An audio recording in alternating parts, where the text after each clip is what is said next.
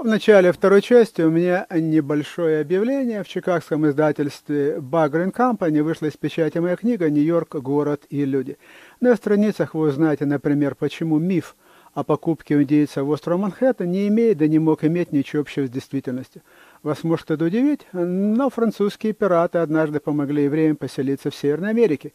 Вы узнаете, каким образом голландский Нью-Амстердам превратился в британский Нью-Йорк – при каких обстоятельствах родилась американская свобода прессы. Что означает выражение «Декларация независимости была подписана чернилами Филадельфии и кровью в Бруклине»? Мог ли Нью-Йорк оставаться столицей Соединенных Штатов и почему ей стал Вашингтон? Где родилось первое пароходное сообщение и почему систему взаимозаменяемости, без которой невозможно машиностроение, долгое время называли американской? Как массовая ирландская миграция в середине XIX века изменила город – и почему время бурной индустриализации, наступившей после гражданской войны, получило название «позолоченного века» и многое-многое другое. Узнавая историю Нью-Йорка, вы точнее поймете его настоящее, и вы увидите его будущее совсем другими глазами. Книгу можно найти как в интернет-магазине lulu.com, так и в магазине Санкт-Петербург на Брайтоне. Вы там можете снять книгу с полки, перелистать ее страницы, посмотреть иллюстрации, их более ста, и окунуться с головой в историю великого города. Ну, а если вы решили приобрести на lulu.com, то, выйдя на сайт, вы увидите шесть подразделов. Products, Pricing, Create, Sell, Resources, Bookstore. Кликните последний, Bookstore, и затем в появившемся окошке напишите Нью-Йорк, город и люди, а даже можно проще, Наксон. Нажмите на клавишу вашего компьютера Enter, и книга перед вами. lulu.com. Ну, а теперь мы возвращаемся к нашему разговору. Давайте послушаем вас. Здравствуйте, в эфире. Добрый день, Алексей. Я, кстати, в интернете нашел, меня просили, первые 40 страниц вашей книги есть в качестве этого. Вот люди могут тоже ознакомиться. И, кстати, меня одна знакомая, 90-летняя бабушка, которая уже не видит читать, спрашивала, хотела у вас спросить, есть ли ваша книга в аудиоформате. Ну, это так. А по вопросу, смотрите, Э, мне кажется, что ни у кого нет сомнения, что русские люди, они по сути свои националисты. Но русский национализм, он включает в себя как составную часть малоросов и белорусов. Это как бы нету с ними даже возможности спорить, сколько украинцы не пытаются доказывать, что они другая нация, они вообще не финно-угорские, а, не знаю, там, шумерские или еще какие-то. И поэтому, мне кажется, русский народ вот сам, сам по себе, он никогда не простит Путину, если там будут какие-то начаться военные действия. И даже если сразу будут ликовать, то обязательно ему вспомнят. И мне кажется, что Путин этот фактор учитывает. С другой стороны, я последнее время смотрю в интернете, все ищут эти скопления войск, и говорят, что это нет, это очередная придумка разведки, что да, учения были, да, приграничные области в России всюду у них более э, присутствие военных э, частей, чем э, в середине России. Но они не верят в это вот. Люди говорят, что покажите мне, посмотрите, я не знаю, в Твиттере полно людей. Говорит, покажите мне, покажите. Сегодня есть спутники, понимаете? Сегодня нельзя сказать, что Россия плохая скопила там против ридной неньки. Покажите. Никто не показывает.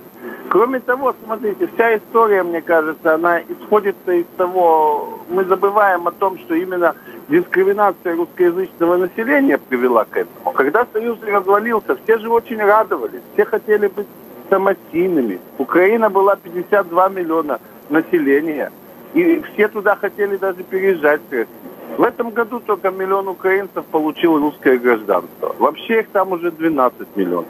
Из 52 миллионов, вот, кстати, меня интересует вопрос. До при президенте Трампе Google говорил, что население Украины 28 миллионов.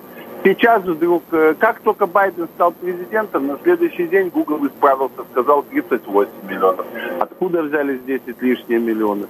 Понимаете, там такое уменьшение населения, такая жизнь, что если сейчас Путин скажет, объявите референдум, я вам там э, русские пенсии, да, они побегут все голосовать.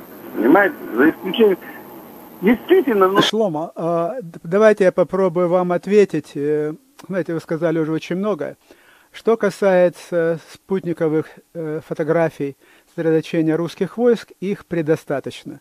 они э, есть абсолютно везде, и за разные периоды времени, и там вы можете увидеть э, парки такие, и танков, и бронетранспортеров, и автомобилей, и так далее, и так далее. Это все есть, это вообще никто не оспаривает, за исключением ваших приятелей. Но вы знаете, у каждого свои приятели. Что касается истории Украины, истории России, то да, э, история непростая. И был такой период, который стартовал после Переяславского рада, когда Украина стала официальной частью а, московского государства на союзных условиях, а потом стала просто частью Российской империи. Был и такой период, но был и другой период, был 1918 год, когда была создана Украинская Народная Республика, была объявлена своей независимости, и это новый период в истории Украины, но это даже тоже не столь важно, а важно другое. Важно то, что украинцы стали нацией. Они понимают, что они нации, у которых есть своя культура, свой язык и, самое главное, свой путь в истории. Это суверенная страна. Э, вот, э, смотрите, значит, э, значит, можно посмотреть последние данные по численности а, народонаселения Украины, что-то порядка 40 миллионов, 38 миллионов. Но после того, когда отошел Крым и отошел Донбасс, то подавляющее большинство жителей Украины считают себя именно украинцами. И вот это очень важно, понимаете, вот этот очень важный момент, кем себя люди сами считают. И они считают, что и у них своя дорога. Они ни на что не претендуют за пределами госграниц Украины. У Украины нет претензий к соседям, у них нет претензий а, по поводу каких-то территорий или по поводу чего угодно. Они просто хотят жить сами в своем доме, больше ничего. И они не хотят, чтобы им кто-либо указывал, как им жить в своем доме. Вот и все. На мой взгляд, это так, так просто, что тут даже сложно с чем-то спорить.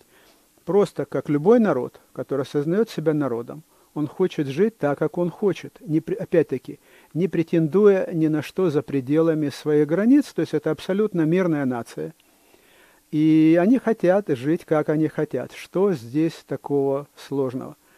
Как любой народ, ничего не особенного. Здравствуйте, вы в эфире. А, добрый день. Добрый день. Добрый. Я, я хотел бы напомнить, обратить внимание на некоторые факты. А, несколько сотен тысяч людей в Донбассе получили российские паспорта.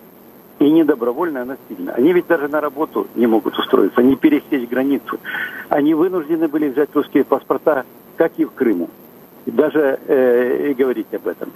Как может вернуть Украина Донбасс, когда там сотни тысяч российских граждан?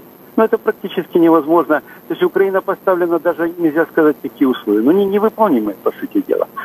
Второй вопрос я хотел сказать. Люди, которые э, не понимают значения, они говорят, ну что с того, что Украина э, предоставит российскому языку э, государственный статус.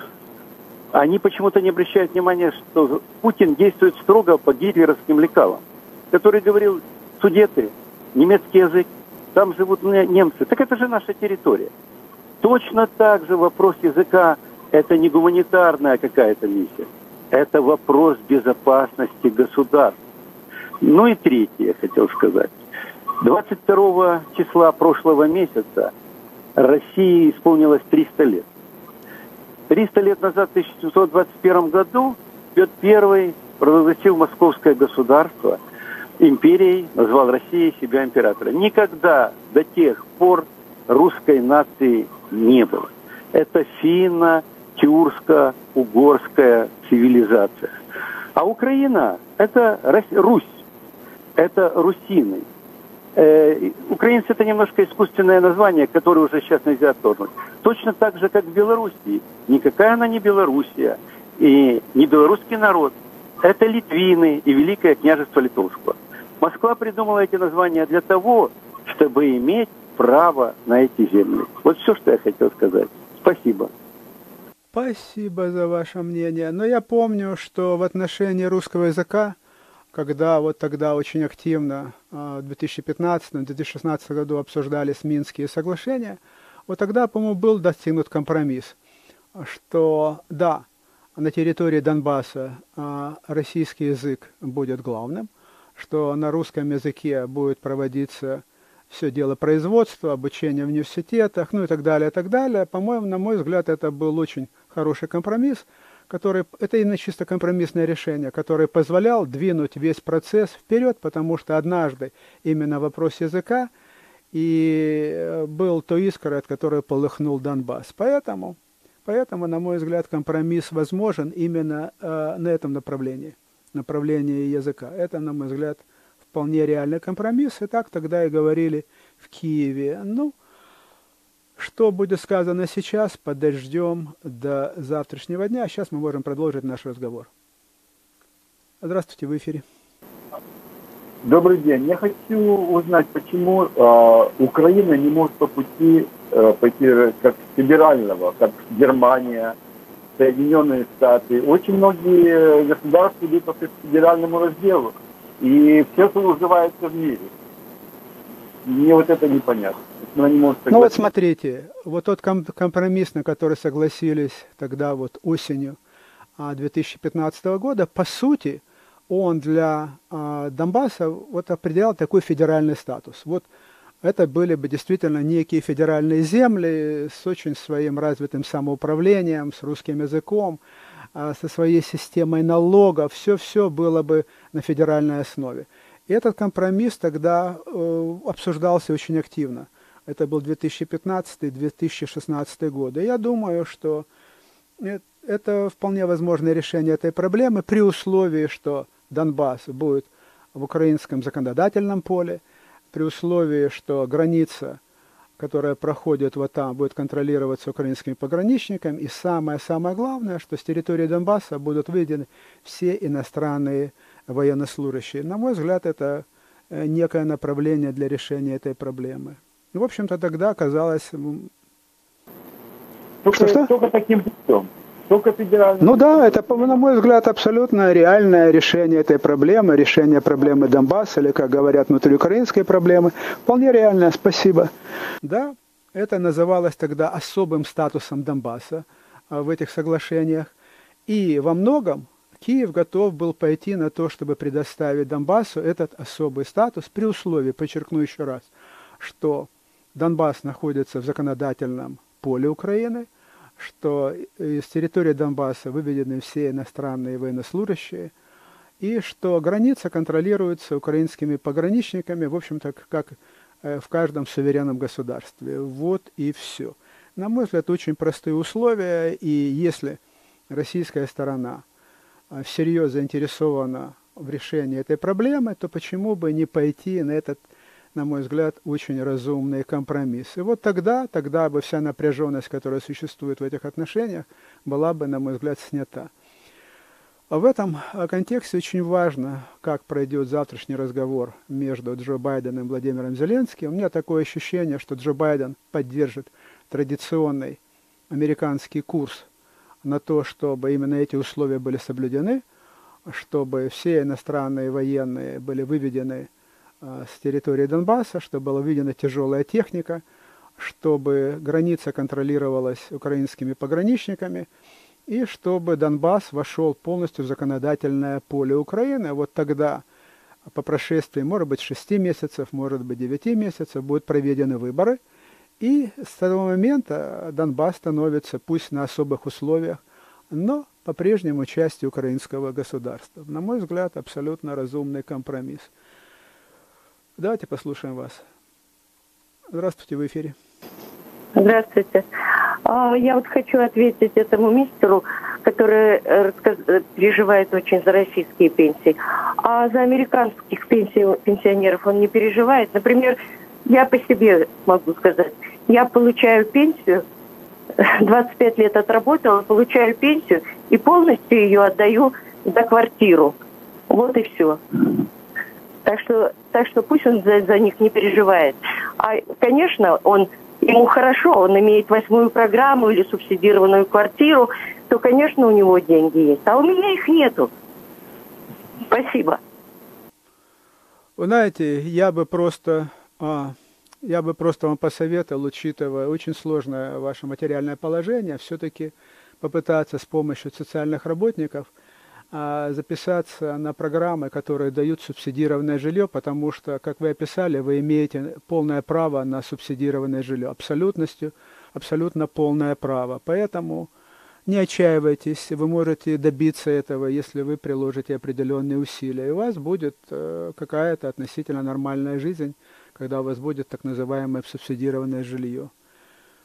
Хотя это выходит за рамки этой программы, но тем не менее, думаю, что эта проблема может быть решена. Здравствуйте, в эфире. Э, добрый день, Алексей. Мне непонятно одно. Почему Россия называется Федеративная Республика?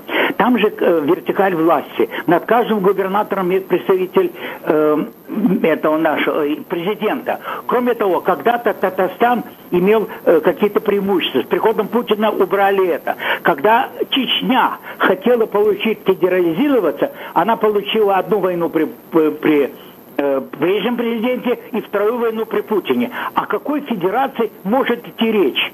Почему этот Путин этот бандит и вор требует от Украины федерации, когда сама, сама Россия не, абсолютно не федеративная республика.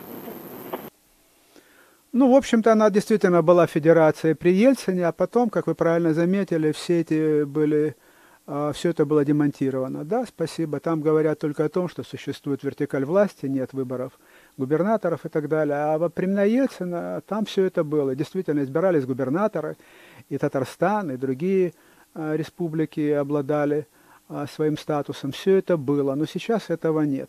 Но когда мы говорим о федеративном государстве в истинном понимании этого слова, то, наверное, стоит смотреть не на восток, а на запад. Надо посмотреть, как устроена Германия – надо посмотреть, как устроена Швейцария, надо посмотреть, как устроены Соединенные Штаты.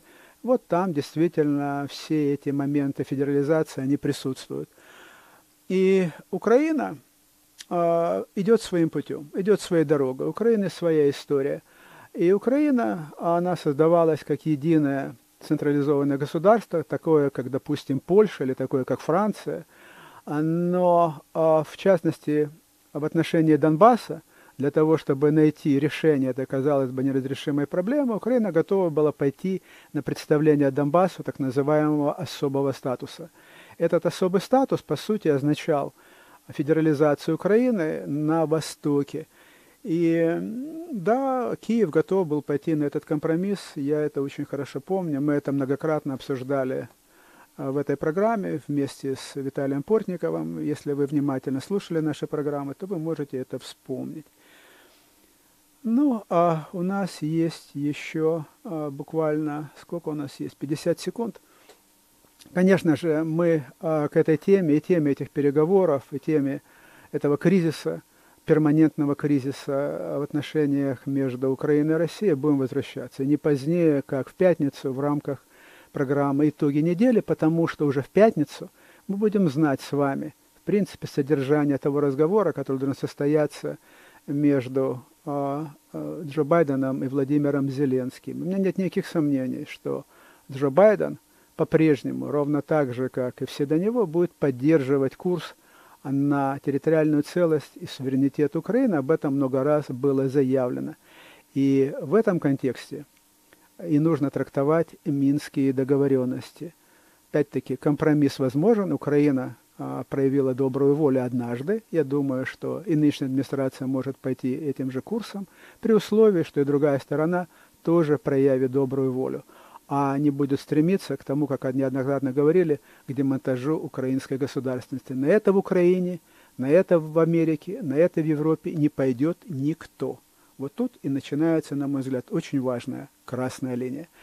Дорогие друзья, подошло э, завершение этой программы. Оставайтесь вместе с нами. Будьте здоровы. Пока.